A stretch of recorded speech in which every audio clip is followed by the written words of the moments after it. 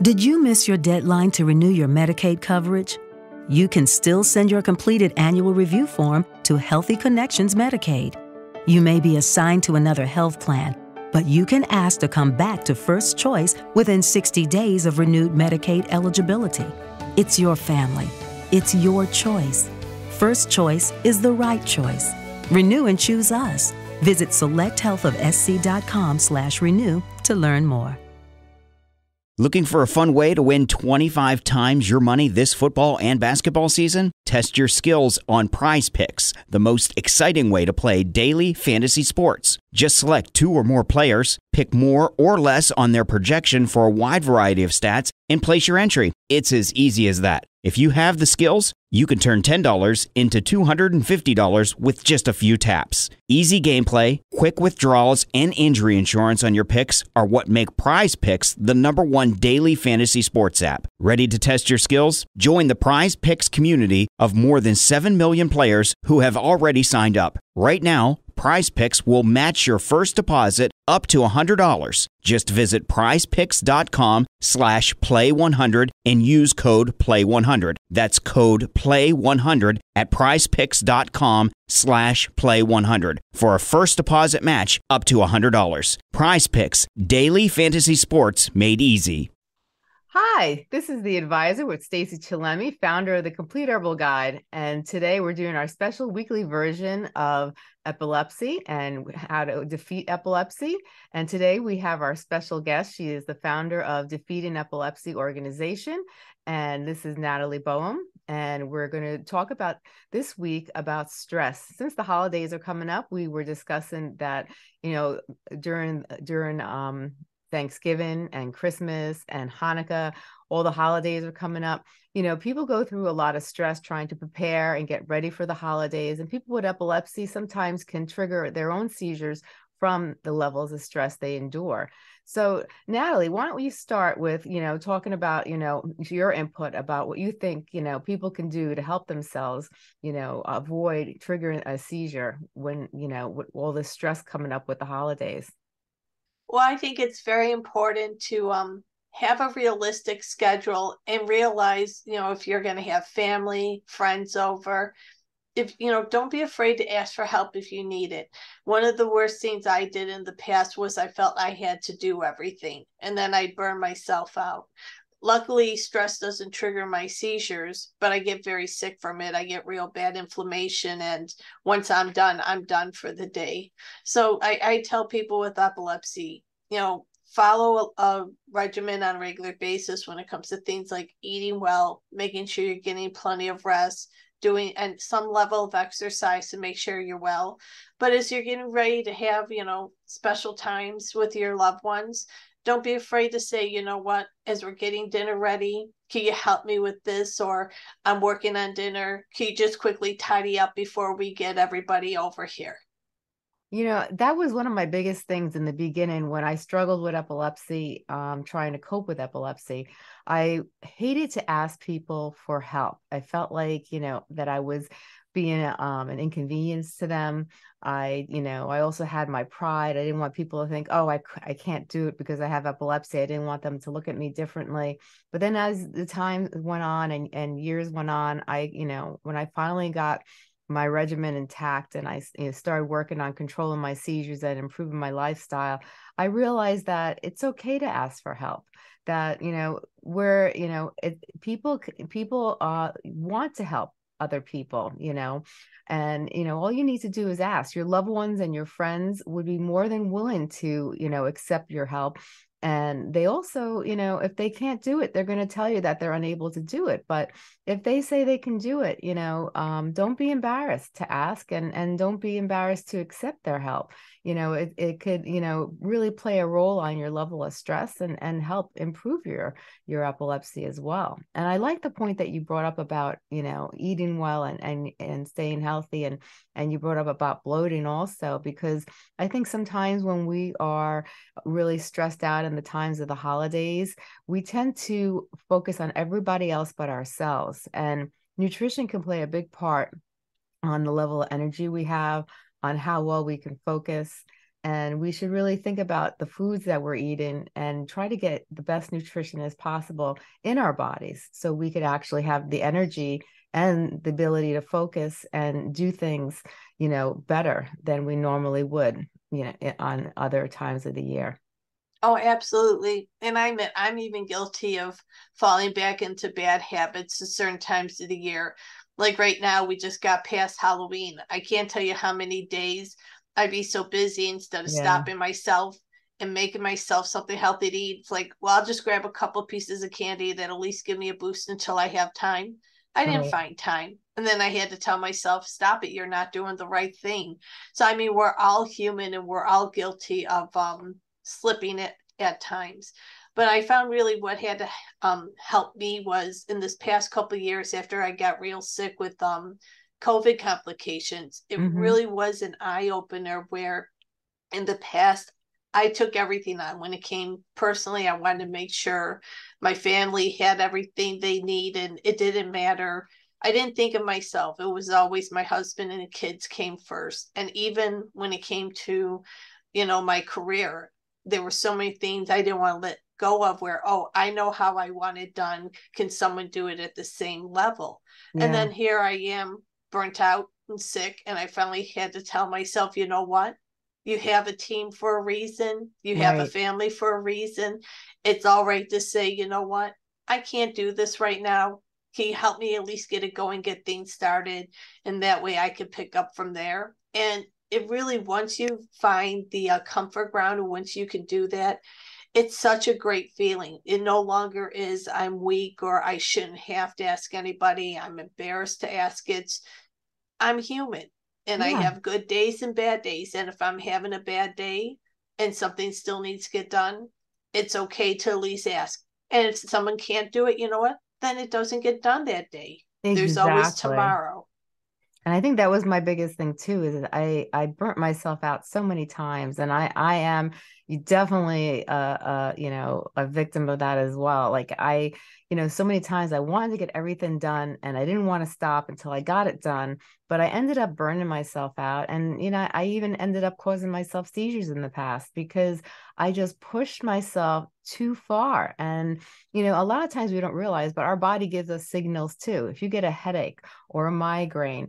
or you start, you're starting to feel uncomfortable and, you know, and you're not focusing and you feel foggy or even bloating, you know, your body has inflammation. You know, these are all signs. Your body's trying to give you signals saying, wait a second, you're pushing me too far. I need some relaxation. I need some rest. You know, I can't do yeah. anymore.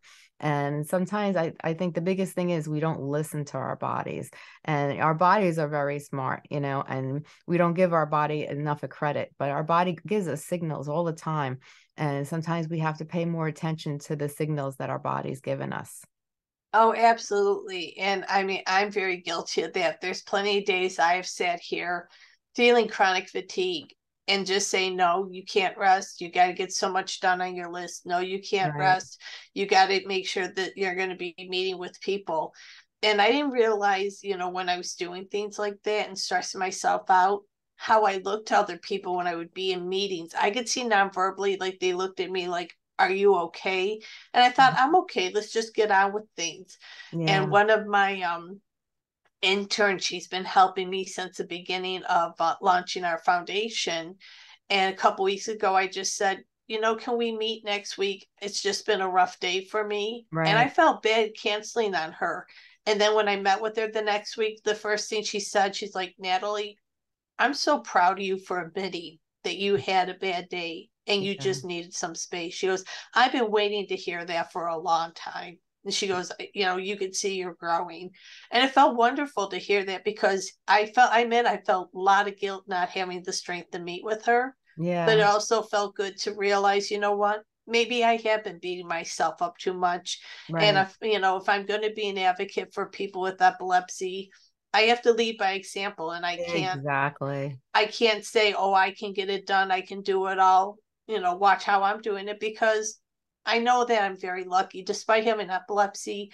I know I'm very lucky. I'm one of the ones who have been able to get their seizures controlled. Yeah, there there are plenty of people who still have it, mm-hmm. and you know they they need especially our support for if they're having a bad day to say you know what i need a break for Yeah. people to take them seriously. Right. Because we all were at least in my experience i've seen anyone who's battling epilepsy we're all unique in our own our own ways. I Yeah. haven't met anyone yet who their seizures were exactly the same their auras were exactly the same or the right the med combination of medications solve the problems.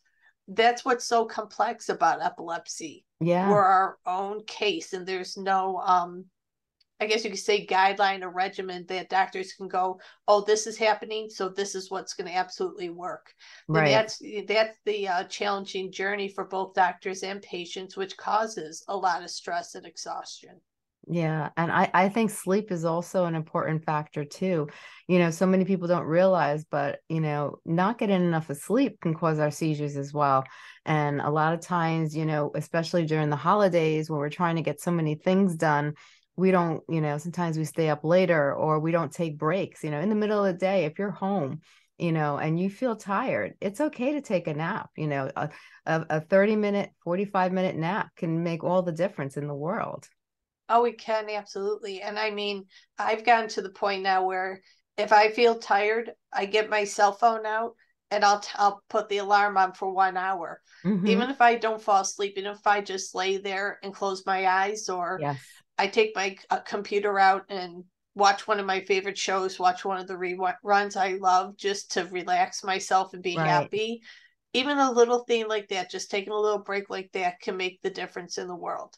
Oh, 100%. And I like meditation too. I think, Yes. you know, I, I think meditation can be really beneficial for people. How do you feel about benef um, meditation?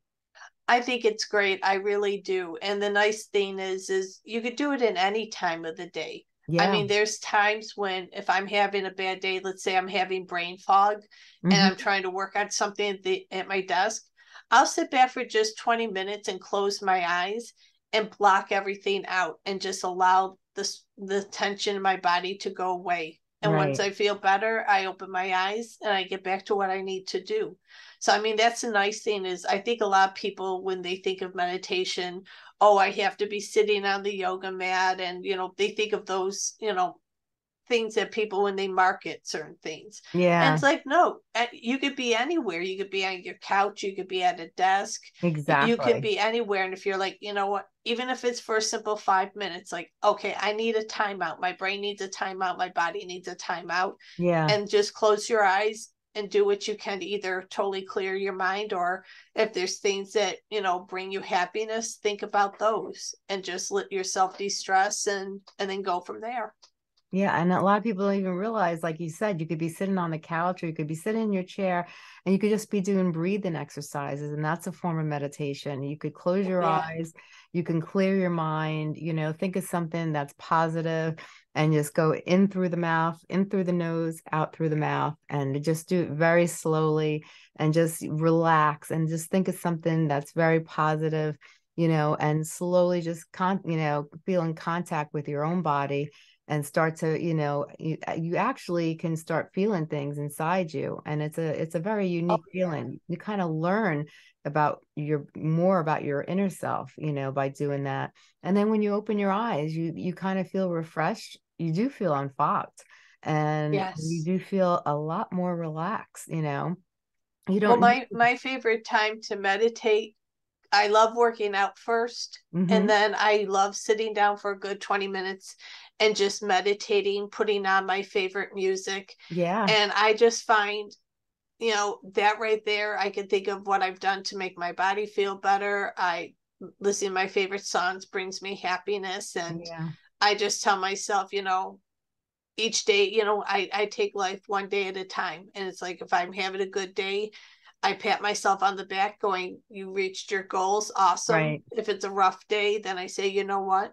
At least try your best. But if you can't give hundred percent today, it's okay if you can't give hundred percent today. yeah And I'll be the first to admit it took me years to be able to say to myself, it's okay not to be okay. And that's why with um my supporters and followers, I've put a couple posts up there about I've promoted more and more about um self-love and you know overall yes. wellness and everything saying you know it's okay not to be okay there's yes. no shame in that there is no shame and no guilt either you know yeah. i i realized it took me years just like you and my husband would get really upset with me at times too because I just didn't want to quit. I didn't want to stop. I knew my limitations, but I wasn't listening to myself.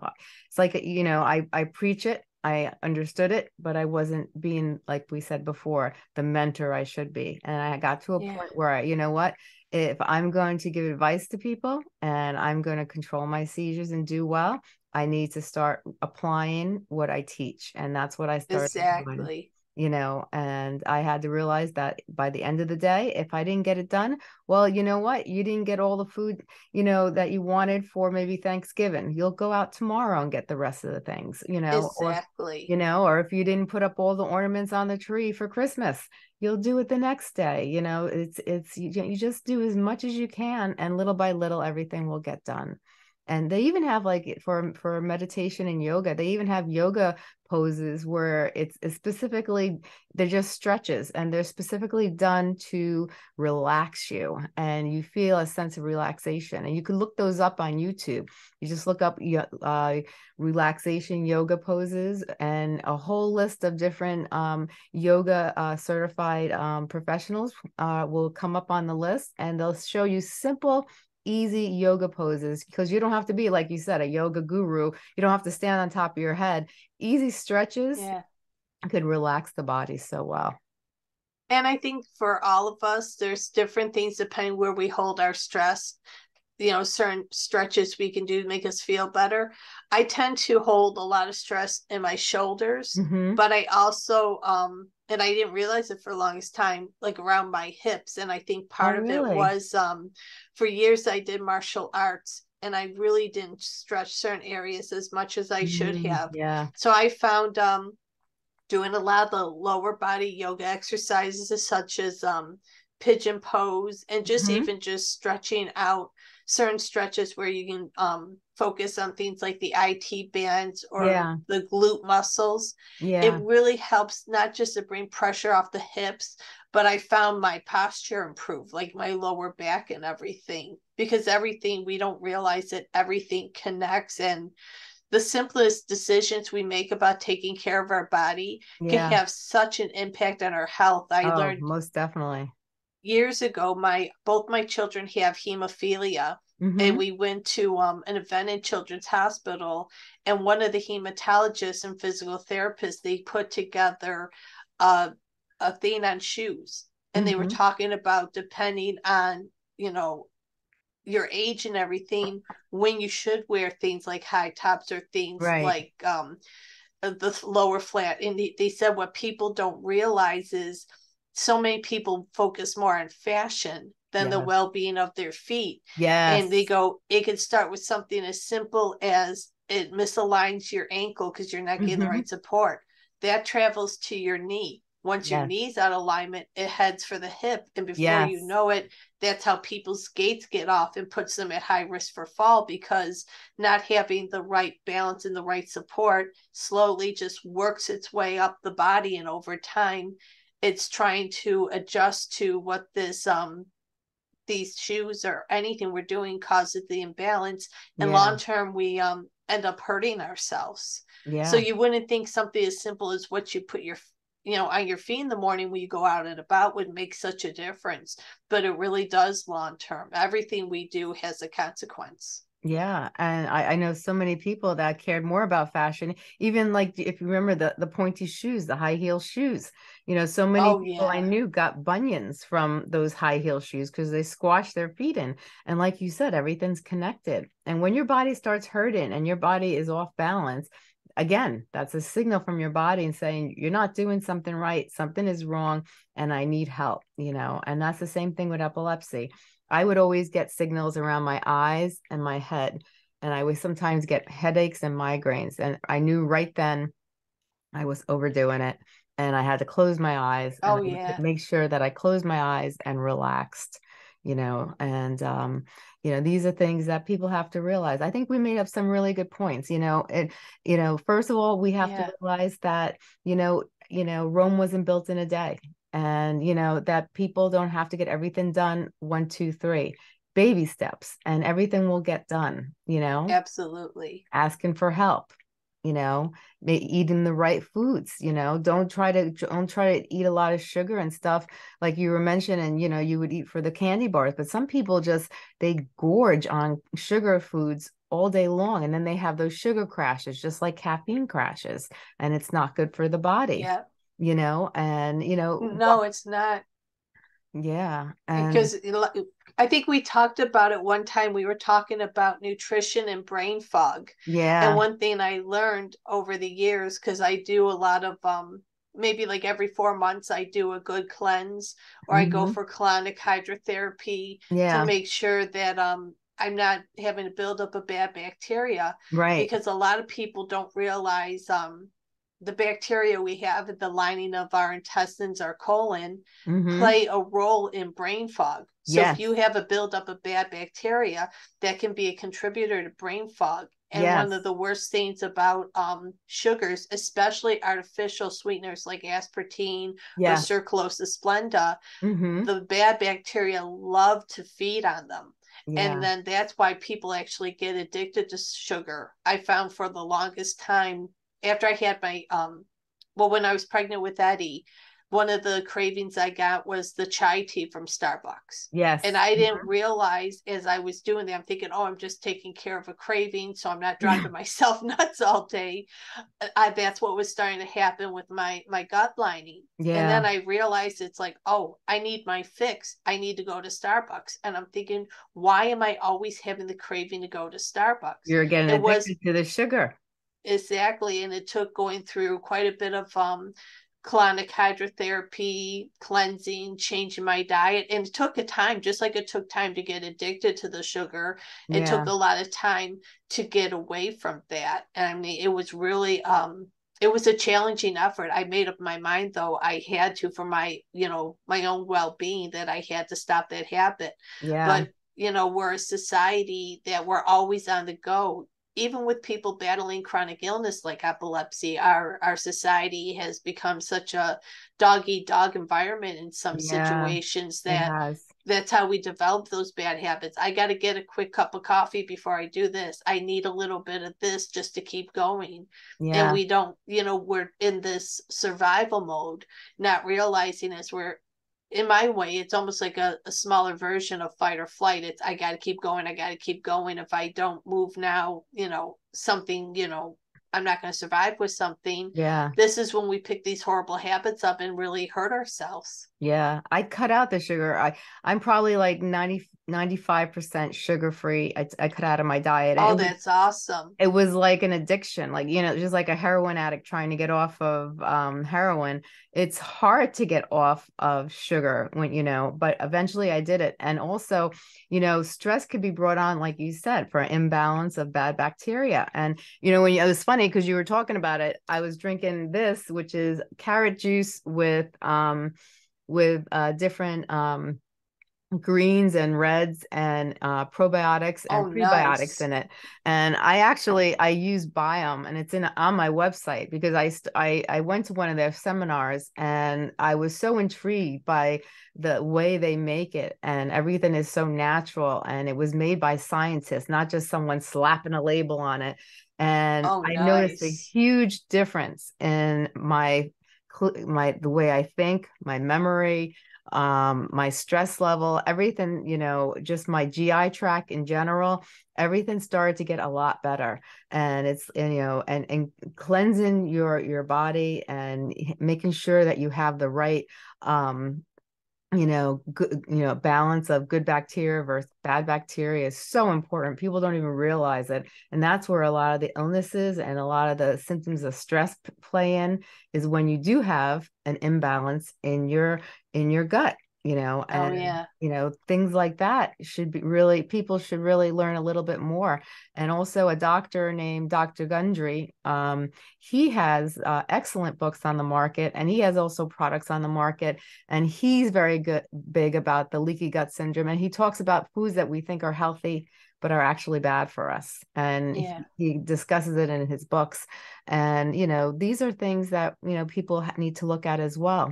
But with the holidays coming up, I think people just need to realize, like we mentioned, all these different aspects and, you know, and we're not worrying so much about getting it done. It will get done. And as long as you are willing to open up and ask for help if you need help, you know, everything will get done and you know and make maybe a list of things of what you need to get done and then if you don't think you can get these things done like you said don't be afraid to ask for help you know and make a make an organized list of short-term goals and long-term goals. And you know and eventually by the time the holidays come everything will get done. And if you ask people well maybe you could bring you know the salad or you know i'll do the the turkey. Maybe you could do the ham you know and you know exactly and then you know things you know make things easy upon yourself you know? You don't have to hold the whole weight on your shoulders you know? It's okay to ask for help you know? Yeah and, you know and i even learned an experience with my parents because my mother and father we had um my father had a, a couple companies and we had a number of clients who became like family to us and they would come every thanksgiving and christmas to celebrate with us and i just saw how stress my mother got wanting the food to be perfect, the house to be perfect, everything had to be at a certain level. And I realized it just got to the point where my mother really wasn't joining enjoying the holidays. Yeah. She was happy to be with all of us. She was happy to be there. But that time the time she was done, she was so drained and just looked so miserable. Yeah. You know, it's not worth it. I mean, you don't it. have to have make it into a five star event. At the no. end of the day, you know, if you have your loved ones there and you're having a great day, you're feeling in good health that day, mm-hmm. you you've done the best you can. Exactly. That's some, that's something to celebrate. Not did I have every single type of food out? Did I use this brand of things or you yes. know playing trying to keep up with the Joneses? That's what I saw my mother do so yes. much because she wanted my father's clients to have a special, you know, and I understood feel welcome and know we appreciated them, but by the end of the day, it just wasn't worth seeing how sick she looked yeah. over it. And they exactly. always did appreciate it. So I think even if there were a couple things she wouldn't have been able to do, I don't see them. Cared. They wouldn't have cared exactly you know i see that so much. I think everybody doesn't realize that it's your family and friends who come over and they don't care if everything is perfect. As in our head we want everything to be perfect and so many of my family members also uh, i saw that you know they didn't enjoy the holidays because they were so worried about making everything so perfect and by the end of the day they were so drained that they were the ones they did a great party but they were the ones who didn't enjoy it and there was exactly is it really worth it? Is it really worth it to get yourself so drained and then you don't even get to enjoy it? The holidays is gone. You know, where's the benefit? You know, so, you know, I think friends and family just want to be together, you know, and I think that's really the main thing. I don't really think they care if everything is perfect or not. I really don't, you know, and I think that's what people have to realize too you know, and not so worry about what other people think. It's what you think, you know. If you're happy, you know, and you're happy with the way you did things, and like you said, you gave it your best shot, that's all that matters. Exactly. It really is. So I think these are really good pointers to, you know, discuss with people. I hope everybody got some really good ideas on how to handle stress during the holidays. You know, stress is something that everybody is affected by, but especially with people with epilepsy, we have to be extra careful and not push ourselves to the limit. And especially around the time of holidays and wrapping and gifts given and, you know, preparing food and all the other good stuff, you know, don't overdo it. You know, break things up, take things day by day, make sure that you're taking care of yourself and take some time out to maybe exercise, do meditation, or do some some yoga and make sure you're taking care of yourself number one you know it you know the first priority is you and that's what a lot of people forget but you you are the first priority because if you don't take care of yourself you're going to end up having seizures and then you can't be uh you know helpful to anybody else and you're harming your own self and causing problems for yourself. So you know take these little bits of advice that natalie and i had put together for you and you know if you have any other advice contact us and give us some, you know, pointers. So we can mention it in our descriptions and, you know, and maybe even create some articles about it to help other people. So we're always willing to hear everybody's, you know, um, point of view and ideas. That way we could all be one big community and help each other get through, you know, living with epilepsy, but in a positive, productive and, you know, way of uh, handling it and also live a happy life because epilepsy, just because you have epilepsy, life doesn't end. We still can live a happy, healthy, and productive life.